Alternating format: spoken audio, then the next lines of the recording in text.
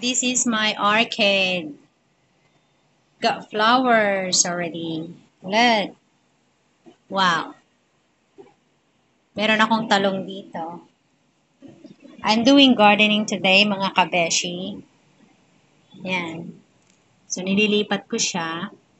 And I also have this, um, our national flower in Philippines, Sampaguita. And this is avocado, basil, meron din pandan, at syempre meron din akong malunggay.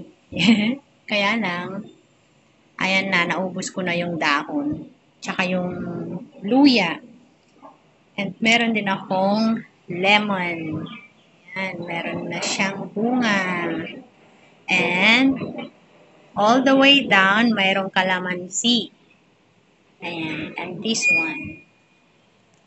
Ayan. So, gardening lang tayo ngayon mga beshi. Saturday morning dito sa SG. Ayan, ito po yung location namin. All the way down ay meron pong swimming pool. Ayan.